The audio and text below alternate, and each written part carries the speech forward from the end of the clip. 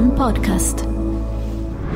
Nino non aver paura di tirare un calcio di rigore, non è mica da questi particolari che si giudica un giocatore. Cantava così tanti anni fa il grande Francesco De Gregori nella leva calcistica del 68, una canzone che ha fatto storia, ha fatto epoca, ci è rimasta nel cuore.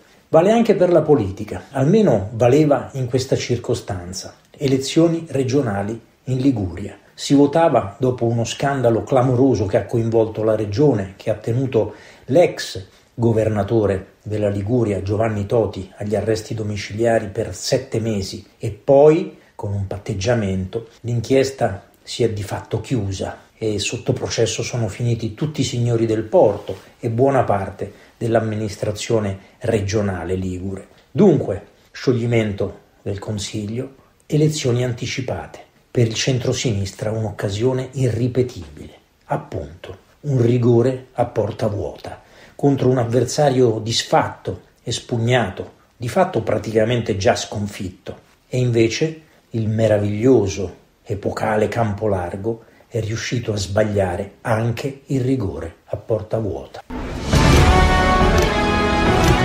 Circo Massimo, lo spettacolo della politica di Massimo Giannini.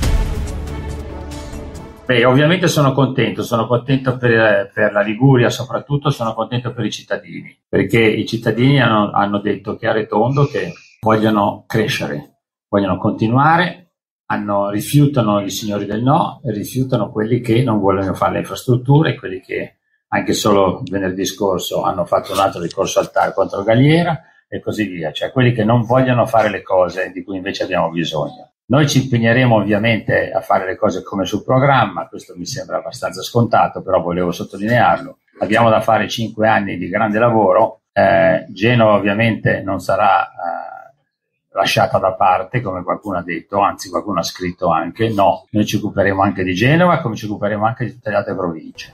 Eccolo qua, lo avete appena sentito, il nuovo governatore della regione Ligure. Tutti erano convinti che sarebbe stato Andrea Orlando, candidato del PD e soprattutto del Campo Largo, quello che avrebbe dovuto tirare per l'appunto il rigore a porta vuota, una porta sguarnita perché come abbiamo detto e come abbiamo visto la precedente amministrazione era stata spazzata via dallo scandalo e di fatto tutta la classe dirigente ligure e genovese in particolare che ruotava intorno al porto, da Aldo Spinelli ai collaboratori di Giovanni Toti, fino ad arrivare, quantomeno a lambire, il sindaco di Genova, quel Marco Bucci, che invece si è ricandidato alla regione Liguria proprio contro Andrea Orlando. E a sorpresa il rigore lo ha parato lui, anzi lo ha segnato lui. Infatti alla fine, per un Andrea Orlando che lo sbaglia, un Marco Bucci lo segna e così la regione Liguria,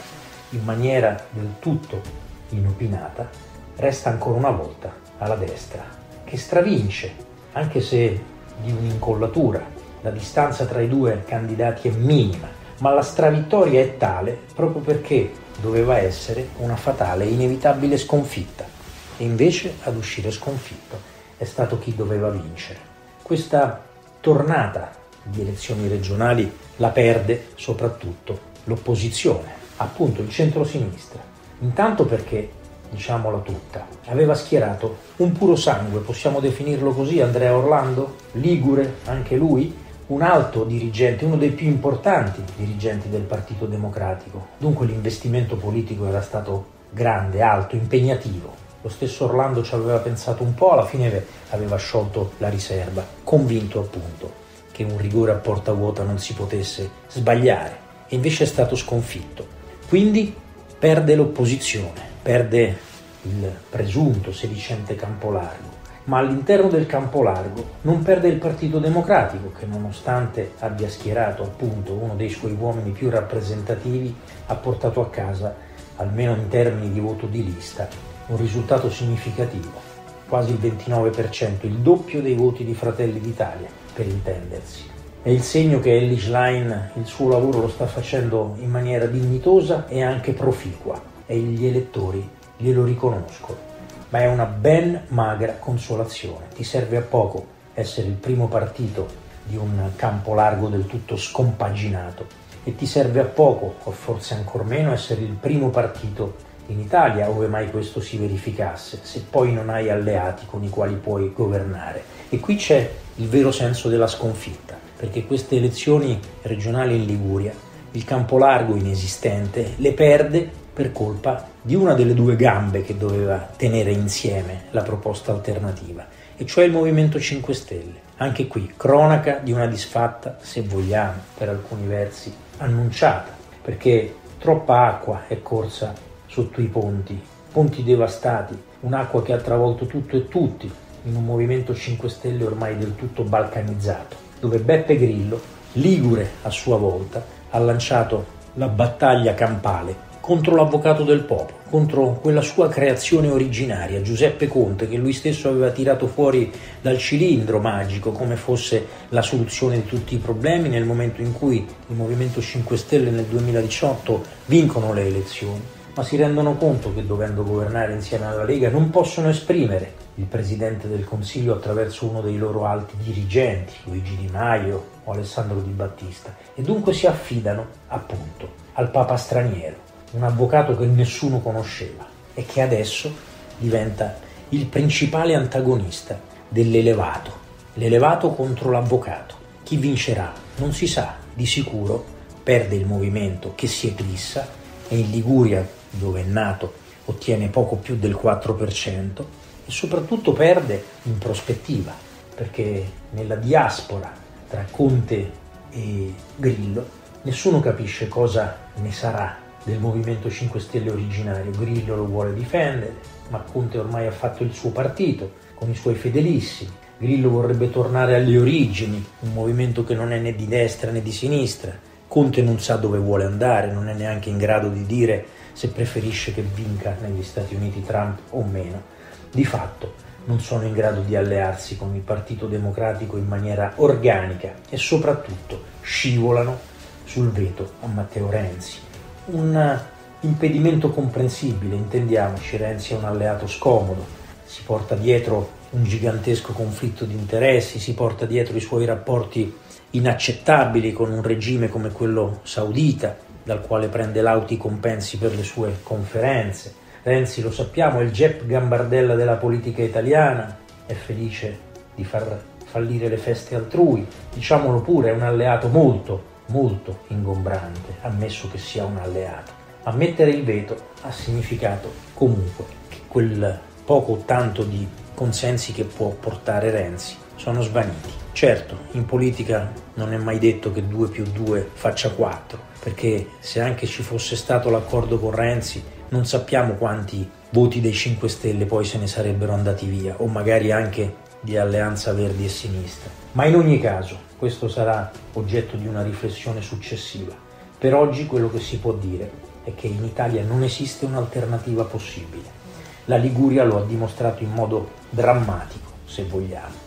E dunque vince, o meglio, simbolicamente stravince, la destra di Giorgia Meloni, perché l'intuizione della Presidente del Consiglio, stavolta lo possiamo dire in maniera chiara, netta e inequivocabile, c'è stata e ha riguardato la scelta del candidato, proprio quel Marco Bucci, già sindaco di Genova, lambito dallo scandalo, dallo scandalo Toti, ancorché non travolto dal medesimo, tuttavia si è rivelata una scelta vincente. A Genova la destra ha perso, perché nel capoluogo Andrea Orlando ha fatto il pieno, ma sono stati sufficienti i voti di Scaiola, in arrivo da Imperia, e poi in generale il consenso intorno a un candidato che è parso l'uomo del fare, quello che non avrebbe gettato via il bambino con l'acqua sporca, per intenderci, lo scandalo Toti, insieme a tutto il volume di affari e di investimenti che intorno a Genova continuano a ruotare e di cui Marco Bucci può essere il garante.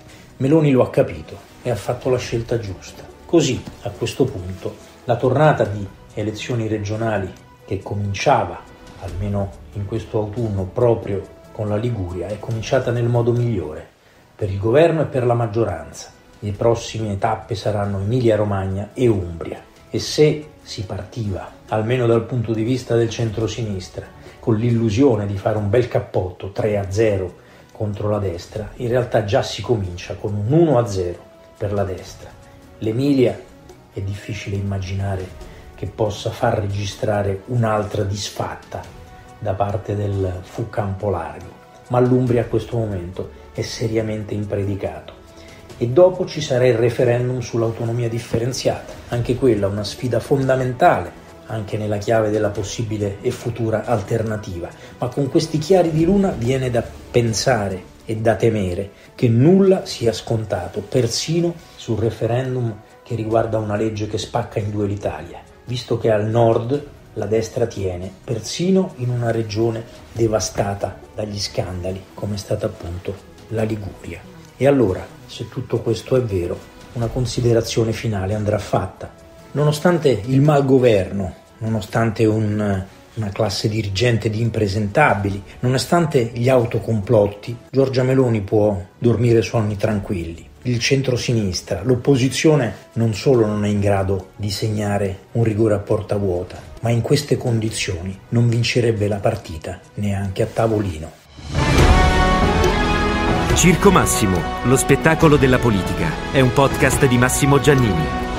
Una produzione, One Podcast.